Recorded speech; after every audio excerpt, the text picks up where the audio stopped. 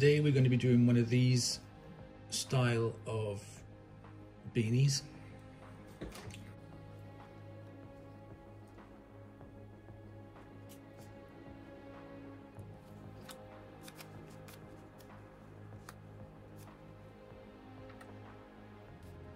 And we're going to be doing 30 rows, 20 rows, and 50 rows using the Addi Express.